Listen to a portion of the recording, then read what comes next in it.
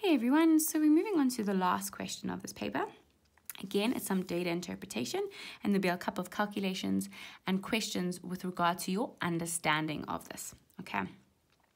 So this below shows the labor force characteristics of South Africa for the fourth quarter of 2017. So that just means the last three months of 2017. Remember, a year can be split into quarters, right? If you say 12 divided by 4, each quarter, three months, okay?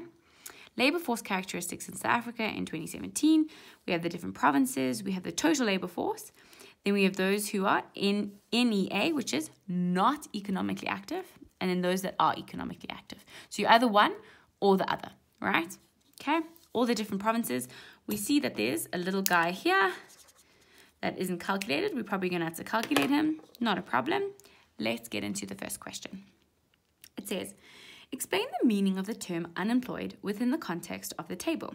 So, unemployed here, right? It's not the not economically active. It means the person is willing and able to work, right? But they cannot find a job. That's what it means because they're economically active. So they're able and they're of the age that they can work, but they cannot find a job. Okay. So this is quite an important one, and this is an important one just for understanding like statistics in general, right? So we say unemployed, right? I'm just going to try to write this as quickly as possible. So unemployed is able and willing to work, but cannot find a job. Okay. It's not a nice place to be. Okay. 5.2.2. It says determine the value of x, the number of people employed in Mpumalanga. Okay, so now what's important to note here, right, is that this guy plus this guy, right, if you add those two together, equal this guy, right? Because remember I said you're either economically active or you're not. But together, they have to add up to the total labor force. Importantly, also, this labor force is in thousands. Okay. So we know that for Mpumalanga, all right, this guy plus this guy have to equal that guy okay? But we know, right, that also, let me just get a different color, right? We also know that this one plus this one have to equal the total economically employed because the economically active, right, they can either be employed or unemployed, but they fall under economically active. So those two equal that, those two equal that. It's important to understand what data you've been given. So if we know that these, these two here, x plus 506 equals 1748, we can calculate x. Okay, so we say 1748 equals x plus 506. But remember, we want x by itself. So you can say x equals 1748 minus 506. Put that in your calculator. And we know that x equals 1, 2, 4, 2. Okay, it's important here that x is less than the 1748 because remember we have to add 506 to x to get to 1748. Okay, so that's just testing your understanding of the data. Okay, which which sometimes seems a bit tricky, but actually once you do it and once you understand what's being displayed, it's actually not too difficult to access the information. Okay. It says name one data collection one data collection instrument that could be used to collect the data above. So there's plenty of different things, right? There's questionnaires, there's surveys. I'm just going to say survey, right? But you can say a number of other things, but that to me is the most obvious one. Okay. Then it says, calculate the percentage of people in the Western Cape who are not economically active. So let's find the Western Cape. There's the Western Cape, yeah? This is, this is the number of not economically active, and this is the number of total labor force. So we're going to say 1412, right? Because those are the people who are not economically active, because there's, there's the economically active, they're not economically active, and that's the total. Okay, remember what I told you about the relationship that we established up here. Okay, so I'm going to say 1, 4, 1, 2 divided by the total number of the labor force times by 100. Why am I timesing by 100? Well, it's asked us to find the percentage. And timesing by 100 helps us find that percentage. Okay, so we say 1412 over 4507 times 100. Okay, and that percent, I'm just going to do it to two decimal places. They haven't specified, but it's always best to just do it to two decimal places when it comes to percentages. Okay, so remember it's 9 there in the third decimal place. I'm just rounding up. Okay, perfect. Let's now move on to 5.2.5. So it says, write down the ratio of employed people to unemployed people in South Africa in the form of something to one. So instead of, because generally in a ratio we say one to something. But here they are saying something to one. So it's important to make sure that you don't misunderstand what's being asked. So what I like to do is I like to write it in words because it helps me understand. So it's saying employed to unemployed. Okay? It just helps me set the scene in my own mind to as to what they're asking me. So not employed, right? Or it said, what did it say here? Employed people to unemployed mm, in South Africa. So it's actually these guys over here because there's unemployed and there's employed. Okay, I was almost going to pull the wrong data. That's why it's always important to read the question because it gives you an indication. Okay, so unemployed is 5882. Remember, this is in thousands. Both of them are in thousands, so you can just put it over here. Just to remind you, you don't always have to write it out. It's okay. Um, and the employed is 16172. So we want this side to be 1. That's what they've said in the question. They said, write it in the form where it's 1. Well, that's not a problem. All we have to do is we have to figure out what we have to do to this side to get to 1.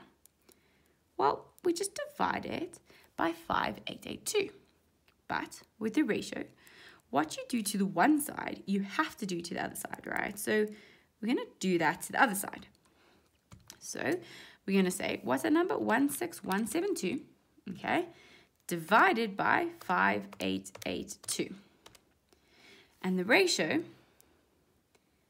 I'm going to just round it off to two decimal places. Let's just see if it if it said any decimal places. Um, it didn't say. You can do it as two.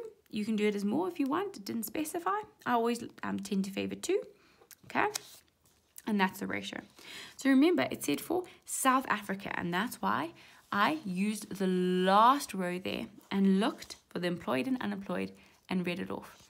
Then it said it wanted the ratio in this form. Important to look and understand what they're asking for.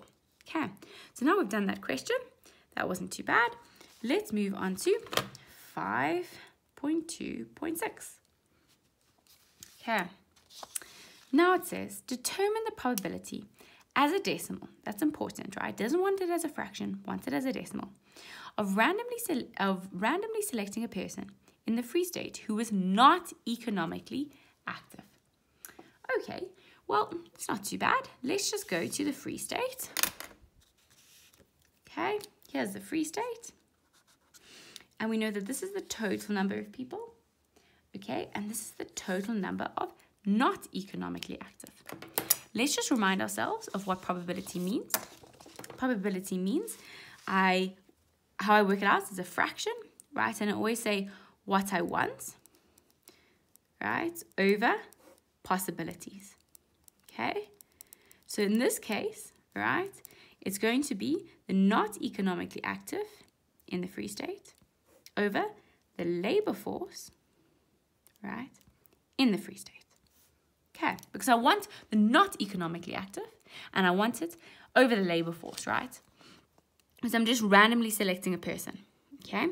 So it's going to be 697 over 1893. See, Free State, 697, 1893. But we're not done, right? What did they ask us to do? They said, please put it in a decimal.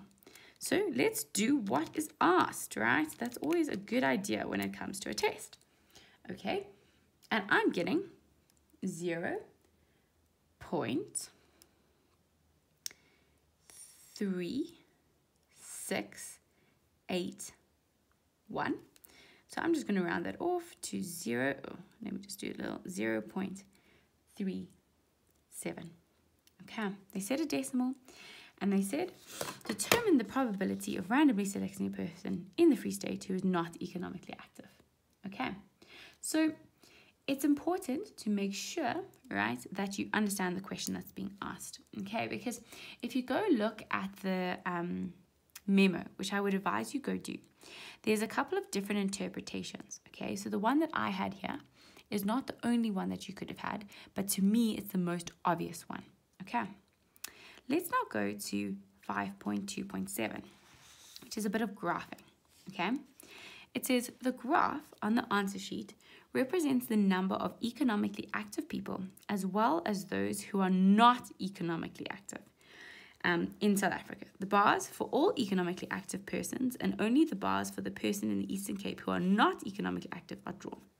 Okay, so there's a bit of a problem with this question in in the memo, right? Because actually what's shown is it's the total number of the labor force. So that's actually what what this one is. Let me just these guys, I'm just doing them in orange, right? Are actually the total labor force. So it's not actually the economically active. And what happened was because there was this mistake, they actually discounted this question, right? So it's important if you do see this in an exam, and sometimes they do make mistakes, right? You will get the marks, okay? So just do what you think is best. Don't panic, right? Because panic is not an asset when it comes to um, tests, okay? So then what it's done is it's done that, and then in the smaller one over here, it's done the not economically active. So let's go and plot the not economically active for each of these different um, provinces. So the Eastern Cape is done for us. Let's now do the Free State. So the Free State is 697.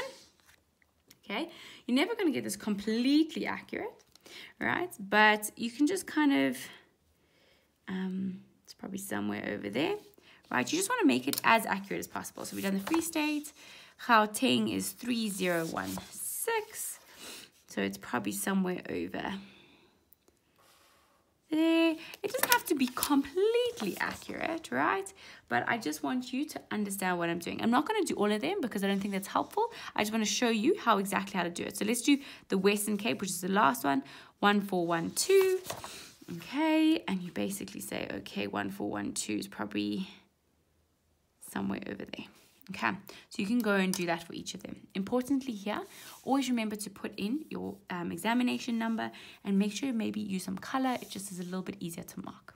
Okay, let's go do the last question now of this question and then we are done with this paper.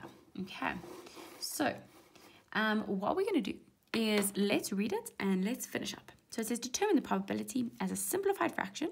It's important of selecting a province where fewer than 350 people are employed. Okay, so let's go to employed.